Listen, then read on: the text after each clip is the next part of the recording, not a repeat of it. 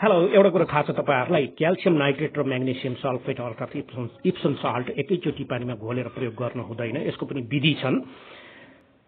होइन भनेदेखि यो जम्न जान्छ बिरुवाले पनि खान सक्दैन। तपाईँको ड्रिप इरिगेसनको पाइप पनि जाम हुन्छ खर्चै खर्च।